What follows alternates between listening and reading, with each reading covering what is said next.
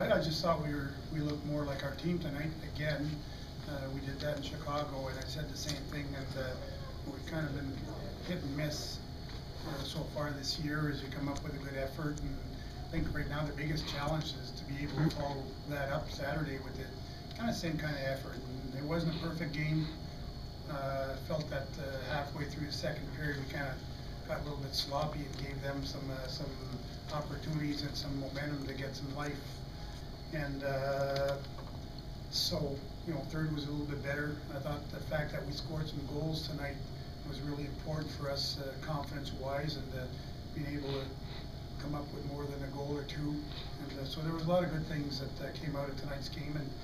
you know, again, it's just being able to translate that into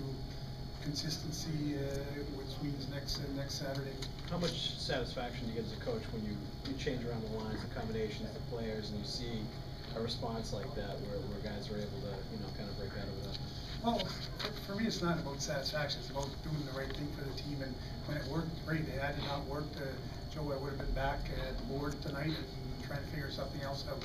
But, uh, you know, it's, it's nice that it did work, it makes my job a lot easier, and, uh,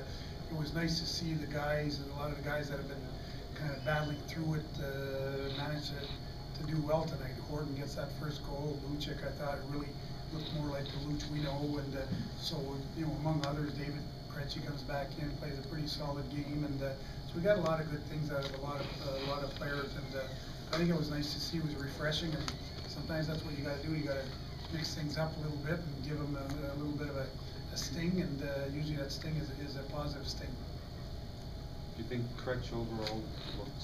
looked okay, or? I think, I thought he did for a guy that hadn't played in a while, uh, you know, he looked, he looked pretty good, he made some, some decent plays, and, uh,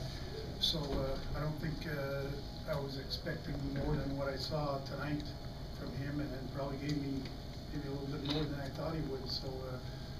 I talked to him before the game, and, uh, you know, when, we decided he was gonna be in, and kinda explained to him that I would see how, how he handled the ice and how he